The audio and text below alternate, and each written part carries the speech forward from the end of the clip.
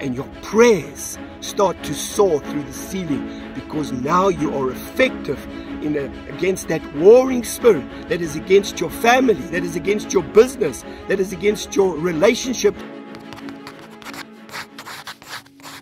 Morning and welcome to Time Out this morning. My name is Jack Windt, and even as I'm speaking this morning, there seems to be a war raging in the heavenlies, and it's like a warring spirit has been released over the earth. And of course, I'm referring to the war in the Ukraine. Now, there's been many wars in the world over centuries, but what makes this war unique is that it has the potential to spill over and to escalate suddenly because of the various players that are involved in this scenario. So as you listen this morning, you may be saying, Jack, what can I do as a person uh, how can I be effective in this arena of war? How can I change things for my family? How can you change things for your family? How can you change things for your future? Or if you're a parent, how can you change things for your children? Or a grandparent for your grandchildren? And I want to show you this morning that there may be something you're doing that you don't even know you're doing that is making you ineffective when you're wanting to call upon God in prayer. And it's things that you don't even maybe know. And I want to show you a practical way how to change that this morning. And it's something you can do immediately. So don't go away. You need to hear this because I believe it can change everything uh, for your life. Now, is Vladimir Putin the modern day Hitler of our era? You know, more than 80 years ago, Adolf Hitler invaded Poland to start his war against the world. And you know, uh, Hitler suffered from a lot of paranoia, delusions of grandeur, and an extreme desire for power and, and, and for wealth. Uh, not unlike what is happening right now with the Russian leader. Because you see, this is the same devil that has been around for thousands of years is still operating through people to destroy God's people because they were created in God's image and to wage war against God's people. And, um, you know, when Adolf Hitler invaded Poland, it was the beginning of World War II.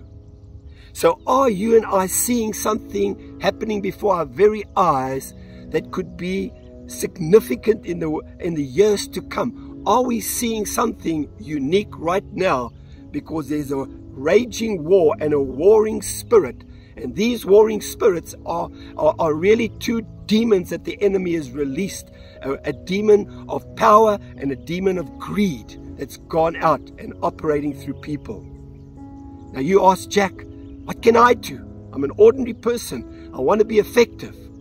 And I want to show you this morning something you can do right now.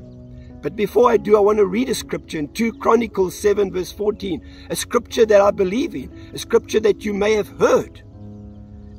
But unfortunately, it's also something that people haven't always told us the flip side of. Because that's why we can't understand the scripture. Or why the scripture doesn't always work.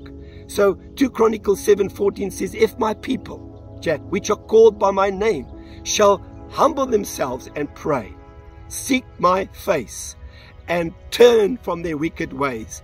Then I will hear from heaven and will forgive their sin and heal their land. We want God to heal our land. You want God to heal your situation, your family, your future, your nation. So, how can you humble yourself? Unfortunately, it's not as simple as doing just that because there are things in our lives that prevent us from bowing down and humbling ourselves to God. And because of that, we are ineffective in the arena of warfare when we pray. So let me show you, I believe, these three things that prevent you from entering into God's arena and being effective if you are a person who wants to pray.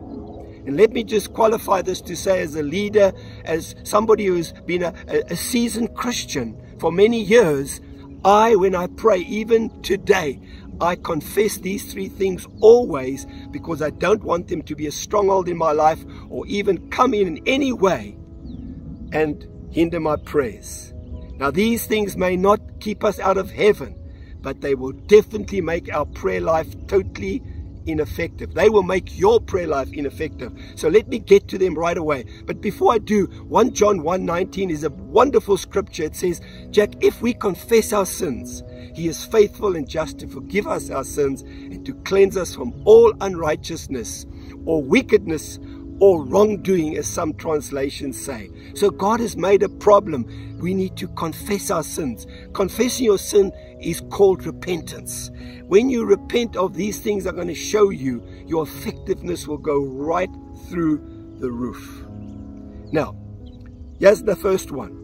The first spirit that stops us from humbling ourselves before God is the spirit of pride because it's the opposite spirit to humility the spirit of pride. And isn't that interesting that Satan himself struggled with the spirit of pride and was kicked out of heaven because of pride? He exalted himself above God. Now, it's not that you and I don't believe in God. Well, the Bible says even the demons and the devils believe and tremble, but that doesn't make them a Christian or effective. We can't just believe in God. We need to be careful that we don't exalt ourselves above God. And the spirit of pride will do that in your life. It hides in your life and it says you don't have pride. You are a humble person, but it's lying to you. Repent and confess the spirit of pride in your life when you pray. The second one is very close to this is the spirit of rebellion. Now that's also something the devil knew about because he rebelled against God and he led astray a third of the angels and they fell because of rebellion. Not only did they exalt themselves against God in pride, but they also said, We will not do it God's way.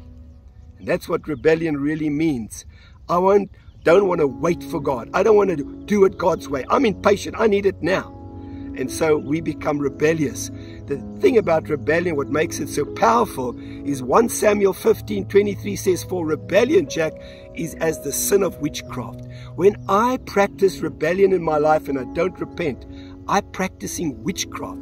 And you know, if you know what witchcraft is, the practice of witchcraft is really the worship of demons. When I worship demons, a door opens in my life and they come and have power in my life and they make my prayers ineffective.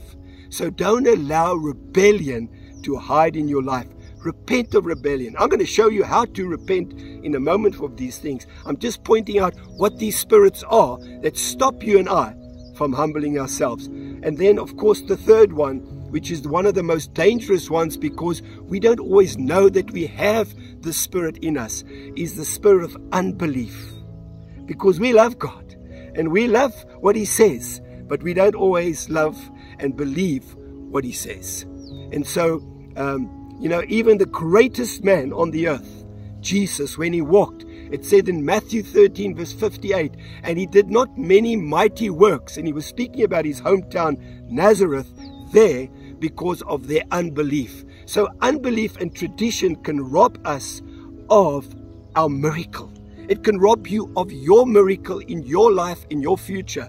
So deal with the spirit of unbelief. It's not that you don't love God. It's not that you don't believe God. You don't always believe His word or His prophetic word, and you don't always follow through on that. So that spirit hides in your life. Now, when it comes to these three spirits, spirit of pride, the spirit of rebellion or witchcraft, or the spirit of unbelief, I want to encourage you, and when you pray, see yourself in God's court because God has a court in heaven. He has an advocate called Jesus Christ, and He has an accuser called the devil who wants to accuse you of these sins so that you cannot humble yourself and bow down. And so, see yourself in that court and then say, God, there is rebellion in my heart. I repent of it. There is pride in my life. I repent of it. And there is unbelief in my life and I repent of it and I acknowledge it right now. And as I do, I receive your forgiveness instantly because of Jesus and the blood of Christ. And the moment you do, you're free. And the enemy no longer has an accusation. The advocate, which is Jesus, has cleared you of that accusation. And your prayers start to soar through the ceiling because now you are effective in a, against that warring spirit that is against your family, that is against your business, that is against your relationships. Perhaps you haven't spoken to one of your family members for years. It's a warring spirit that's opposing you. Maybe it's your health this morning. But as you repent and confess your sin, I want to encourage you. A window will open, a window of blessing, and you will become effective. My name is Jack Windt. You've been watching Time Out. God bless you. I'll catch you next week. You unravel me with a melody. You surround me with a song.